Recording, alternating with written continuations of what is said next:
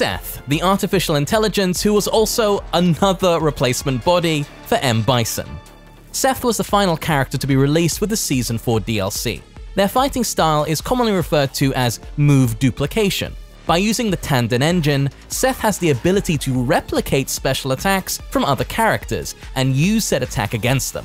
In Street Fighter V, Seth's gameplay mainly focuses on Tanden-based moves mixed in with brand new moves. Their entire V system is great to explore, but also hard to master, allowing for this synthetic humanoid some originality.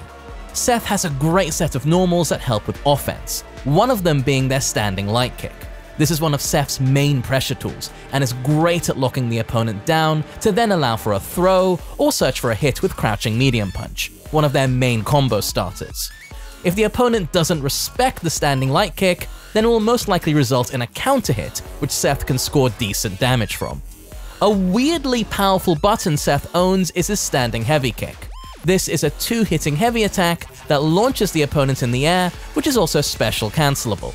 This is one of Seth's anti-air options due to the area it covers and its juggle properties. When used in the right context, standing heavy kick is extremely powerful. An annoyingly powerful special Seth has is their Annihilate Sword. This is an aerial attack that changes Seth's trajectory, making it tricky to counter. The light version can be considered an aerial poking tool, because when well spaced, it's quite difficult to counter due to how quick it is. The medium version works similarly to the light version, except it's slower, whilst the heavy version causes a knockdown on hit, meaning if Seth can somehow manage to get the opponent to anti-air, the anti-air can lose and allow Seth some offense.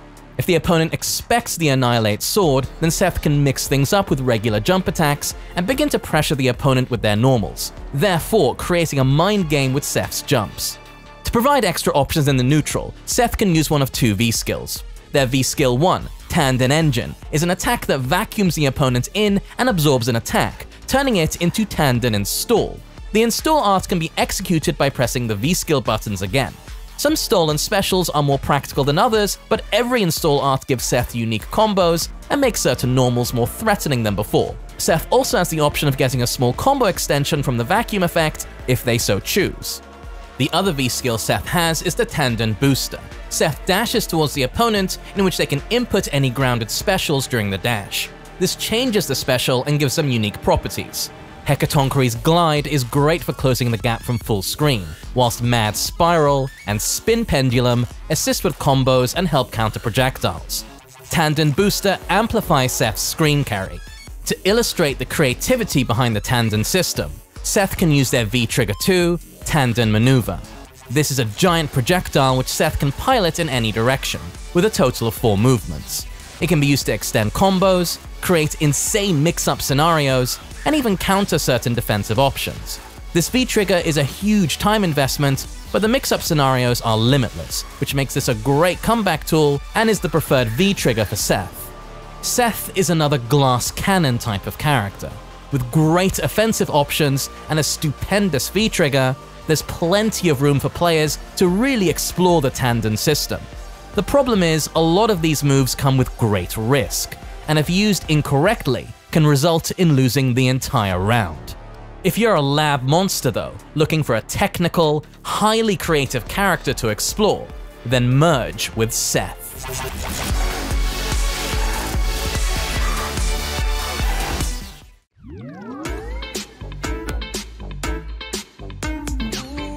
Dan, the hubristic self-taught martial artist who runs his own dojo. Dan was the first DLC character for the last season of Street Fighter V. He used a fighting style known as Saikyo, the ultimate fighting style that he invented by mixing multiple techniques. Dan is notorious for being the joke character of Street Fighter, due to his clumsiness and unorthodox moves. But in Street Fighter V, he's been reinvented in a way that still makes him visually hilarious, but highly aggressive. Dan is now somewhat less of a joke and actually kind of good? On the surface, Dan's normals aren't great. They're stubby, some take a while to recover, and just don't pose much of a threat. However, with the assistance of his V-Skill 2, Saikyo style Otokoboe, Dan's normals become problematic for anyone. This allows Dan to cancel his normals into the V-Skill to then cancel again into another attack, whether it be a normal or special. These are referred to as taunt cancels. The taunt cancels significantly improve Dan's pressure, making this exclusive to him. Normals like standing medium kick and standing heavy kick become much more threatening, and his pressure can feel endless. On hit, depending on which normals connect, Dan can taunt cancel into his EX Dan Retsuken to help take the opponent to the corner. The timing to the taunt cancels is pretty strict, so if Dan messes up the timing, then he'll taunt the opponent. This leaves him vulnerable, which is not good, and allows the opponent to get an enormous punish. Another move Dan can use to catch the opponent off guard is his special attack, EX Danku Kyaku.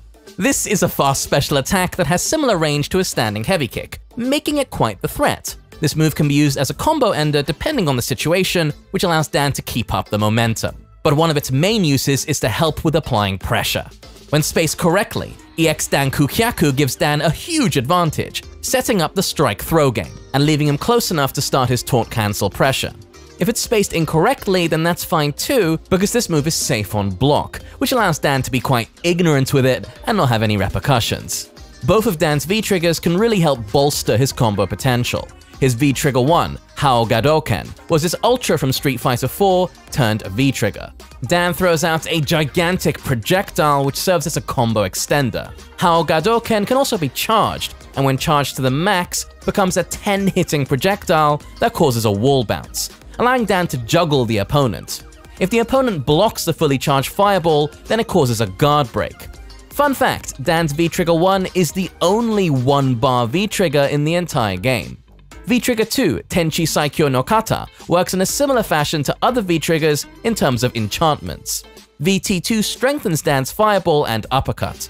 Gadoken becomes Haten Gadoken, and Koryuken turns into Go Koryuken. By having these upgrades, Dan gets to preserve his meter for critical art and make his corner pressure even more frightening. The V-Trigger activation time freeze also allows Dan another opportunity to abuse the taunt cancel pressure and slowly take the opponent to the corner.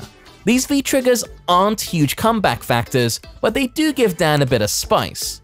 This version of Dan is the best iteration by far. By combining his goofy elements with his V-Skill 2, Dan is respected more as a character now than ever before. Despite having cool mechanics, he does have his problems though. His damage output isn't the greatest, and the defensive mechanics of the game can easily break his momentum. Even so, Dan arguably has some of the greatest pressure in Street Fighter V. If you like taunting people and lengthy combos, then pick Dan and show the power of Saikyo style.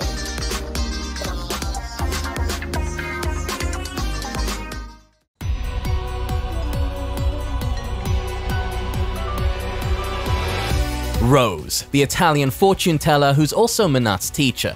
Rose is another popular character from the Alpha series. She's the original user of Soul Power, the direct opposite to Psycho Power. Rose fights using her scarf as she can fill it with Soul Power to use it as a weapon.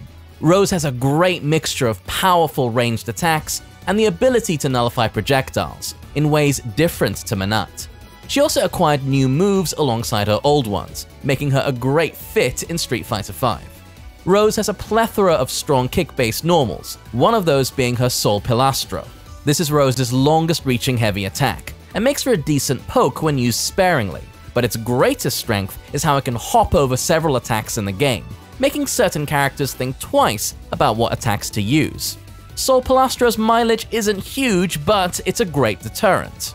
A normal which is a threat up close is Rose's standing medium kick. This has very specific uses, similar to Soul Pilastro, and can avoid some low attacks, but the difference is it keeps her stationary. But where standing medium kick shines is when Rose is within throw range, and when attempting to bait a throw. With a successful bait comes a full combo. If not, then she's safe from punishment. One of the most entertaining things about Rose is her V skill set. Her V skill 1, Soul Fortune, has her draw one of four tarot cards. Two of them work to her benefit, whilst the other two debuff the opponent. The red card increases her damage output for a short period of time, whilst the white card fills her V gauge and replenishes her health. The green card nerfs the opponent's damage for a short period of time, whilst the purple card makes damage Rose inflicts on block more damaging. The tarot cards are quite technical and require some time investment. Soul Satellite returns as Rose's V skill 2. Rose can summon up to two orbs for a limited period of time. Within that time, Rose gains new combo possibilities and new ways to inflict pressure. If Rose gets hit whilst the orbs are out, then Soul Satellite will disappear. A new move that Rose acquired in Street Fighter V is Soul Punish, where Rose summons a stationary orb that appears in three different places depending on Button's strength.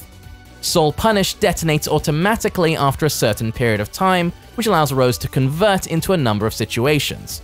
Against projectiles, Soul Punish can absorb them to then explode, making characters with projectiles scared to use them.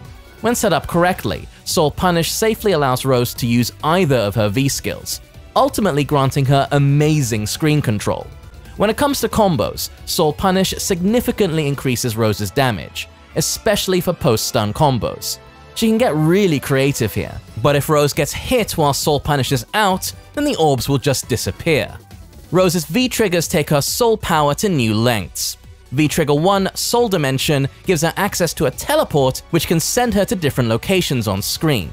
Soul Dimension makes Rose's Soul Spark more threatening as she can immediately cancel into a teleport from it, ultimately making certain knockdown situations much more frightening. With V-Trigger 2, Soul Illusion, Rose summons a shadow of herself which imitates her attacks. Soul Illusion drastically improves Rose's combo potential by basically giving her custom combos, some of which can do an insane amount of damage. The V-trigger drains rapidly, but if Rose lands a throw then the gauge freezes momentarily. Both V-triggers have a lot of depth to them. Rose is a great character in Street Fighter V, she has strong buttons, alongside cool combos and decent screen control. Her problems lie against characters who can easily nullify her projectiles or consistently punish her long normals. Luckily, her V-triggers allow her to stay in the fight. If you like stylish, JoJo-esque characters with cool custom combos, then your fortune lies with Rose.